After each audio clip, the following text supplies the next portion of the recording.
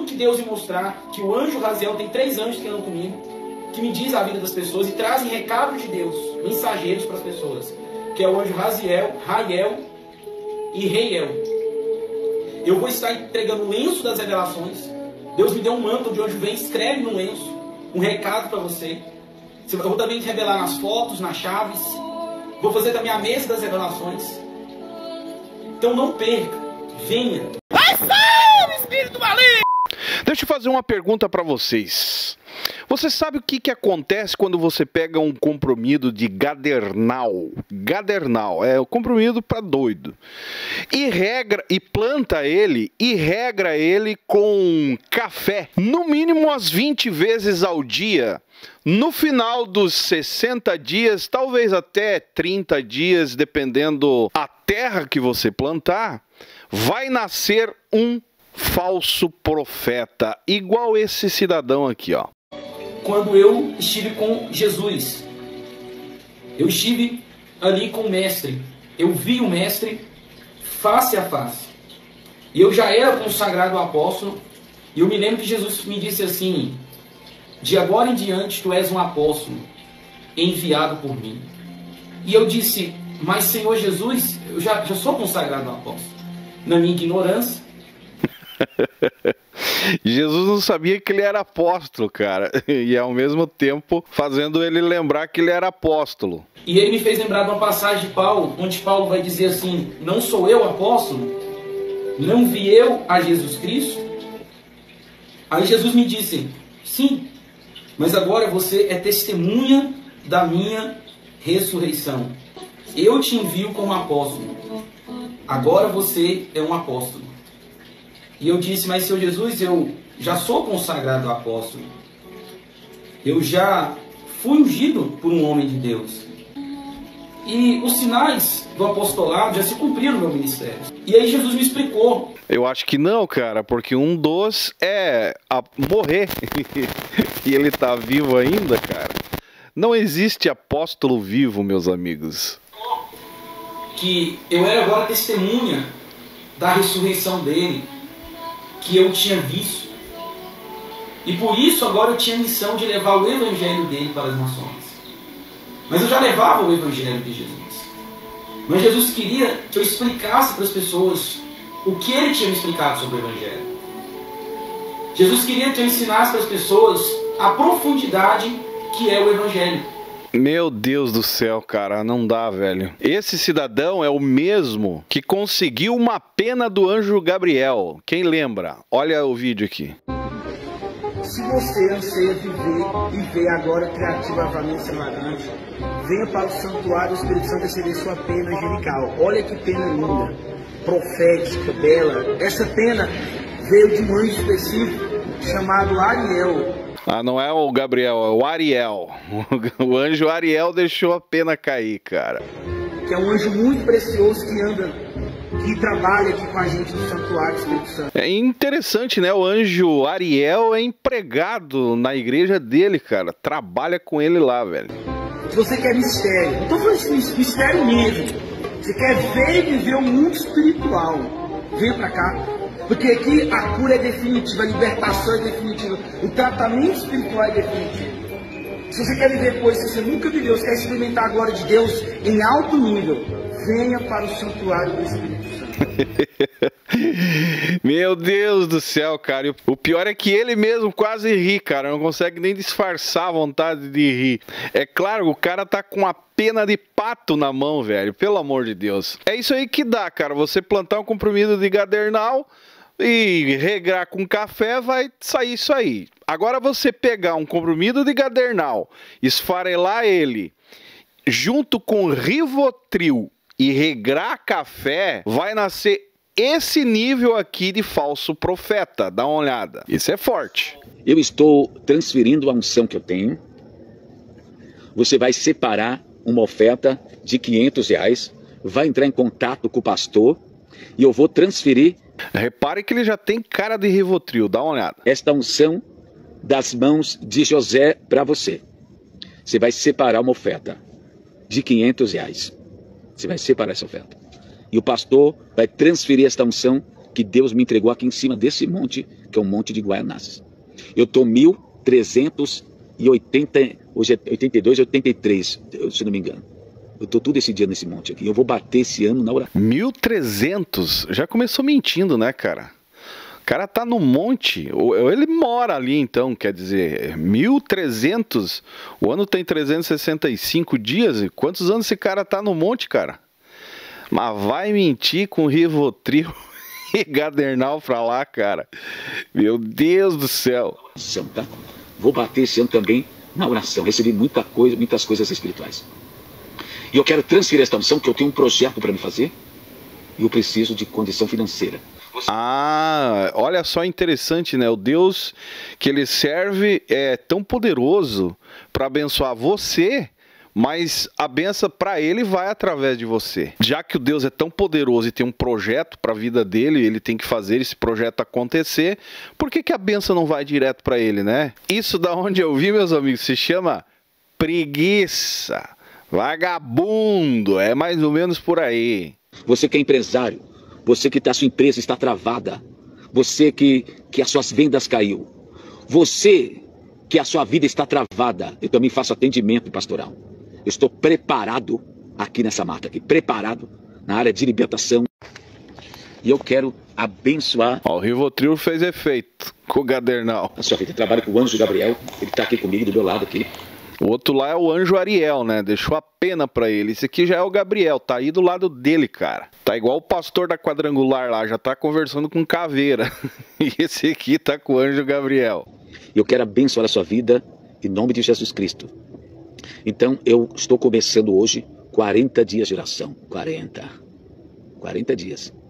E eu quero transferir a unção das mãos de José. E Deus falou comigo ontem. Transferência de unção por apenas 500 reais.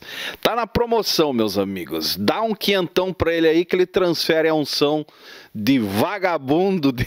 Vai espírito maligno! Estelionatário da fé. Em outras palavras, é isso. É, e Deus falou comigo ontem. Achei, Deus dos judeus. Falou comigo, estou seguindo o ensinamento. Você precisa transferir a unção. Pede a oferta e transfere a unção. Quinhentão. Manda quinhentão que ele vai transferir a unção. Unção de sobreviver na mata fechada. Cara, olha, vocês acham... Tem muita gente que pede para mim reagir esses vídeos aqui e eu acabo não reagindo. Por quê? Porque para muitos, esses aí são os falsos profetas, que no meu ponto de vista não deixa de ser também. Mas isso aí, cara, é, é a escória do falso profeta. Verdadeiros miseráveis da fé, em outras palavras. Porque falso profeta, tem gente que eu recebo algum, alguns que pedem né, envio e defende, acabam defendendo aí outros que estão na mídia, que têm sucesso. Mas todos fazem parte do mesmo pacote. Para você entender, David Leonardo, por exemplo, é um falso profeta é mais eu tenho ele mais como psicólogo do que um verdadeiro pastor, líder espiritual, a qual ele diz ser e prega o seu, ser, o seu sermão. Se ele se assumisse como psicólogo, palestrante, aí eu dava até moral, mas não deixa de ser um falso profeta. Não prega sobre o confronto da carne, massageia a ego o tempo todo. Para mim é um psicólogo e falso profeta quando se diz um pastor responsável em pregar o evangelho. Não prega nada, cara. Falso profeta ao mesmo nível desses dois aí que a gente viu no começo do vídeo. E assim vem os demais. O próprio Sales, né, que é um outro grande falso profeta, um verdadeiro 7-1 da fé, cara. Aí vamos para outro escalão, R.R. Soares, um cara comprometido com a teologia da prosperidade, inclusive já falamos muito dele aqui, que não deixa de ser um verdadeiro falso profeta da atualidade, que engana, né, com as suas mensagens simples e humilde, mas o cara quer grana, o fundo no fundo é dinheiro, igual esse desesperado aí que foi para a floresta e o outro que, que, que conseguiu apenas pena do anjo Ariel. Aí o Silas Malafaia, aí. Silas Malafaia, falso profeta também comprometido com politicagem e usa a igreja e o seu a sua influência para fazer politicagem, mas tem quem acredite que ele é homem de Deus. Mas não passa de um 71 verdadeiro falso profeta também. Do mesmo nível desses outros dois aí que eu comecei o vídeo. Pior ainda, né? Porque o Silas se coloca como defensor da igreja brasileira, da família, dos bons costumes e usa isso com a teologia da prosperidade e faz a sua politicagem para se manter como influência e no poder. Ah, mas é necessário. Você acha mesmo que a igreja de Cristo precisa de um cara igual o Silas Malafaia?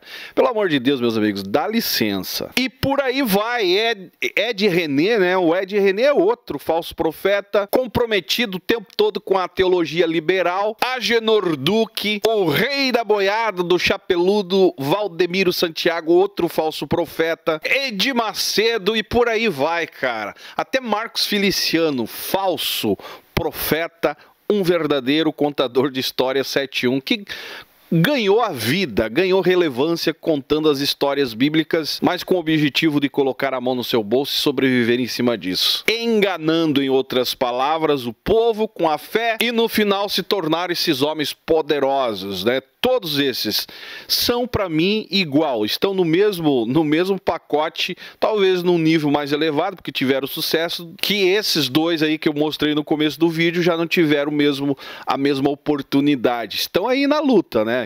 Enganando um e outro, tirando dinheiro um de outro, e no final das contas eles conseguem porque tem o povo incauto que cai, acha que o cara tá 1300 dias no monte orando, então ele merece a minha confiança. E infelizmente o povo acaba não pensando, né, pelo lado racional, vai pelo sentimento sentimental, a necessidade, o momento crítico da vida que está passando e entra nessas barcas furadas aí, no final acaba se decepcionando e às vezes até culpando Deus. É lamentável. Em tempos onde a fé é frequentemente manipulada por esses homens, é quase que um imperativo que você eu venhamos estar bem fundamentados, abalizados biblicamente, para estarmos atento aos ensinos que Cristo deixou para não sermos enganados. Em outras palavras, resumindo para você, usarmos o discernimento.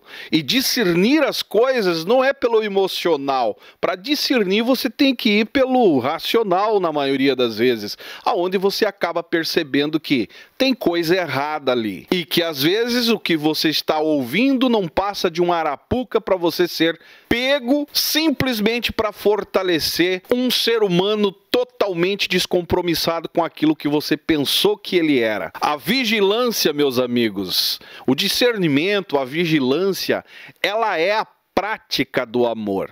São as nossas melhores defesas contra esses enganos espirituais aí que acaba pegando muitos desavisados pelo caminho. O falso profeta, tanto ontem, né, tempos atrás, como nos dias de hoje, sempre vem mostrando uma face, né? Uma aparência sedutora, tentadora e acaba enganando. Mas se você der uma olhada pela razão, você vai descobrir que ali não ali está cheio, minado de hipocrisia e engano. E o pior de tudo é que eles amam se esconder por trás da Bíblia, da palavra. E Cristo deixou uma das maneiras, né, para analisar para nós nos defendermos, que é vendo os frutos. Quais são os frutos? Um deles ali, o fruto dele é guardar a pena do anjo Ariel. O outro é estar tá no monte com o anjo Gabriel. Se você olhar o que diz Mateus, deixa eu ver se eu acho aqui, Mateus é, 7, 15 20 vai dizer assim, ó: Acautelai-vos dos falsos profetas que vos apresentam disfarçado em ovelhas, como que se fosse uma ovelha, né? Que até costumo dizer aqui que esses falsos pastores aí são pastores lobificados, né? São ovelhas lobificadas, que aparentemente têm uma cara de ovelha, mas no fundo é um lobo. E tem os trejeitos, mas ai, o cara é, é uma ovelha, ele tem os trejeitos, sim. O lobo que é criado no meio de ovelha, ele pega os trejeitos das ovelhas. E a ovelha que é criada no meio de lobos também vai pegar os trejeitos de lobo. É assim que funciona. Enganam. E Jesus está dizendo o seguinte: acautelai-vos dos falsos profetas que, se, que vos apresentam disfarçado em ovelhas, mas por dentro são lobos roubadores. Pelos seus frutos os conhecerei. É pelo fruto. Qual é o fruto dessa turma aí? Massajadores de egos e não passam disso na maioria das vezes. A verdade é que precisamos estar atentos com quem fala em nome de Deus, com quem prega, com quem diz que consagra a vida temos que estar atentos sim. Porque se você for olhar diariamente, principalmente na internet, é um bombardeio todos os dias por mensageiros, mensagens que são faladas, que se dizem nem de Deus, que se dizem evangélicos e no fundo, meus amigos, são verdadeiros trapaceiros. Pare com essa palhaçada de que precisa ter o, o aval, a palavra de alguém para que a tua vida seja abençoada. Tenha comunicação direto com ele e o resto é resto, meus amigos. Encerro por aqui para vocês que mandaram esses vídeos, os dois primeiro, né? Agradeço e eu prometo aí que uma vez e outra na semana eu vou tentar reagir a essas picaretagens aí. Até porque se você tem um mínimo de discernimento, basta você ver a cara do sujeito, você vai ver que é uma verdadeira picaretagem, pilantragem da fé. Mas estão aí enganando. Infelizmente, tem muitas pessoas que caem. Que Deus guarde e proteja você e eu e que nós possamos seguir buscando uma vida mais próxima de Deus com discernimento para não sermos enganados. Não se empolgue que o cara é famoso, tem grana, tem dinheiro. Não entre em qualquer discurso somente pela aparência. Analisa com cuidado e depois não venha dizer que eu não avisei. Se você concorda comigo, deixe seu comentário. Se você não é inscrito no canal, se inscreve, deixa o seu joinha, que é importante. Me segue lá nas demais redes sociais. E esse é o canal Fala Zay. Estamos juntos por um Brasil e um mundo melhor. Pelo menos tentando fazer um mundo melhor.